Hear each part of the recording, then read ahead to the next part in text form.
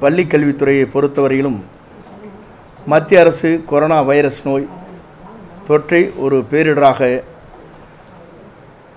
அறிவிக்க செய்துள்ள நிலையில் இது தொடர்பாக மாண்புமிகு அம்மாவின் நம்முடைய முதலமைச்சர் அம்மா வழியில் நடைபெற்று கொண்டிருக்கிற தமிழக முதலமைச்சர் அவர்கள் வருமுன் காப்போம். அதை முன்மொழிந்து பல்வேறு நடவடிக்கை இப்போது மேற்கொள்ளப்பட்டு வருகிறது. அதன் அடிப்படையில் இருபது இருபத்தொன்றாம் கல்வியாண்டிற்கான மாணவர் சேர்க்கை ஒன்றாம் வகுப்பு மு- ஆறாம் வகுப்பு ஒன்பதாம் வகுப்பு வரையிலும் ஒன்று ஆறு ஒன்பதாம் வகுப்பு வரையிலும் இருக்கின்ற மாணவர்கள் சேர்க்கை பதினேழு எட்டு இரண்டாயிரத்தி இருபது திங்கட்கிழமை அன்று முதல் நடைபெறும். சமூக இடைவெளி பின்பற்றி தமிழக அரசில் வெளியிடப்பட்டிருக்கிற அரசின் வழிகாட்டுதல் மாணவர் சேர்க்கை போது தவறாமல் பின்பற்றப்படும்.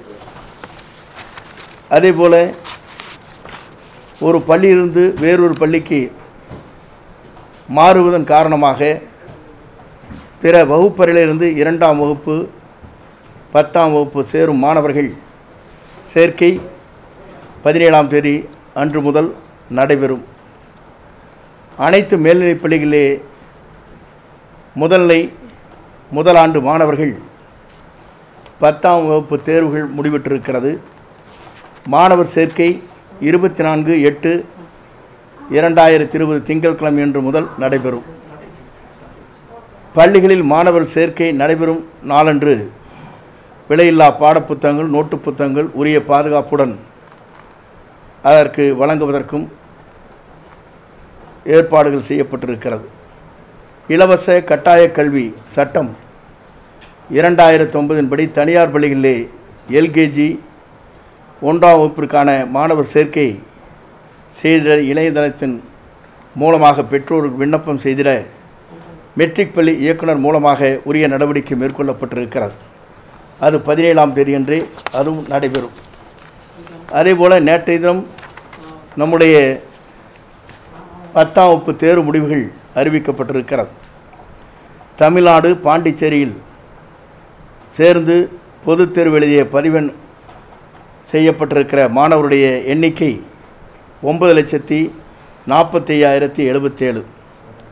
இதிலே பொதுத் தேர்வு எழுதாத பதிவு செய்த பின் இயற்கை எழுதிய மாணவருடைய எண்ணிக்கை இரநூத்தி முப்பத்தொன்று.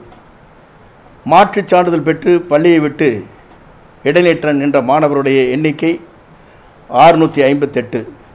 காலாண்டு மற்றும் அரையாண்டு தேர்வுகள் மற்றும் பள்ளிக்கு ஒரு நாள் கூட வருகை தராத மாணவருடைய எண்ணிக்கை நாலாயிரத்தி முந்நூற்றி ஐம்பத்தொம்பது ஆகவே சில பத்திரிகையின் மூலமாக சில தொலைக்காட்சியில் கூட இவ்வளவு மாணவர் விடுபட்டிருக்கிறார்கள் தேர்வுகள் முடிவில் என்று குறிப்பிட்டிருக்கிறார்கள். இதற்கு காரணம் ஒரு நாட்கள் கூட பள்ளிக்கு வராத மாணவர் தான் இதிலே பட்டியல் இடம்பெற்றிருக்கிறார்களே தவிர மறைந்த மாணவர்கள் அதேபோல் நம்ம பள்ளியிலிருந்து சான்றிதழ் பெற்று வேறு பள்ளிக்கு சென்றவர்கள் அதேபோல் ஐடி போன்ற பல்வேறு நிறுவனத்துக்கு சென்றவர்கள் குறிப்பிடப்பட்டிருக்கிறது.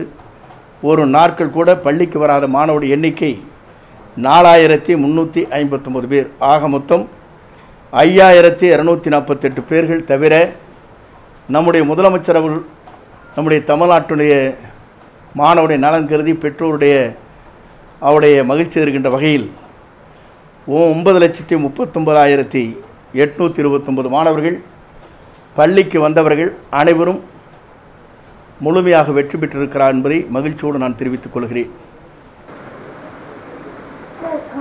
பள்ளிகள் திறப்பது தொடர்பாகவும் அதே போன்று கல்வி நிறுவனங்கள் வந்து டிசம்பர் மாதம் வரை திறக்க வாய்ப்பில்லைன்னு சொல்லிட்டு மத்திய அரசுல இருந்து ஒரு தகவல் இருக்குது தமிழகத்தோட நிலைமை என்ன?